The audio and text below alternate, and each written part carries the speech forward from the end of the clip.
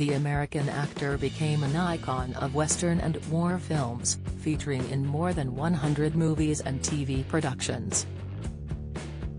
However, John Wayne's traditional and very conservative American values remain the most important thing for him, and led to him rejecting a role in the immensely popular 1950s film, High Noon.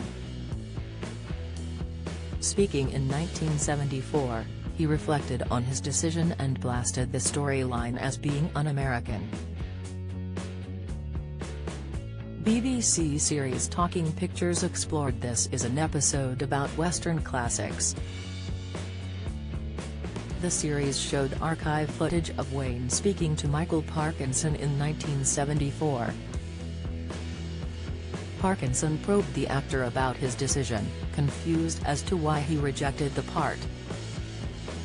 The presenter stated, I read an interview that you gave, John, in which you said you objected to High Noon, to the film itself. You said it was un-American. I saw that film, and I guess a lot of people here in this audience will have seen that film and I, for the life of me, can't see what's un-American about it. Wayne responded, well, a whole city of people that have come across the plains and suffered all kinds of hardships are suddenly afraid to help out a sheriff because three men are coming into the town that are tough.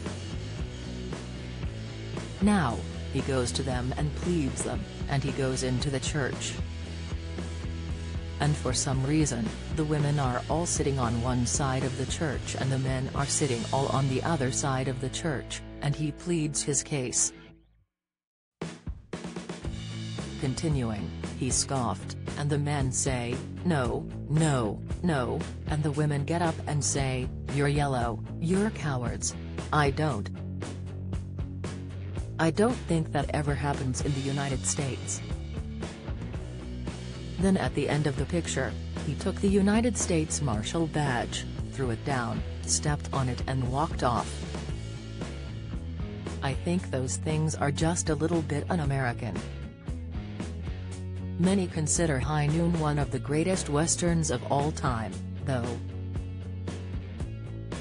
The role of Marshal Will Kane, which Wayne had turned down, went to Gary Cooper and the part won him 1952's Academy Award for Best Actor. It wasn't the first Mistral Wayne turned his back on. It has been reported the role of Major T.J. King Kong in Drive, Strangelove was written with Wayne in mind, but he apparently turned it down.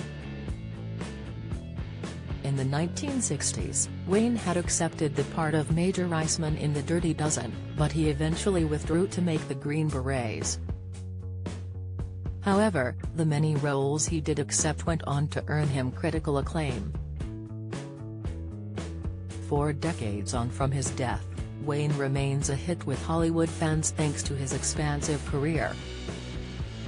His film collection has earned him a title as one of the biggest stars of Hollywood's golden age.